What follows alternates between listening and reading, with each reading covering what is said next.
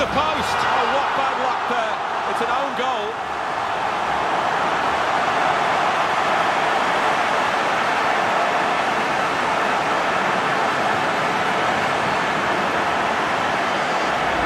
It's his responsibility. It's definitely an own goal. It is. You'd like to try and defend him, but he just didn't make up his mind quickly enough there.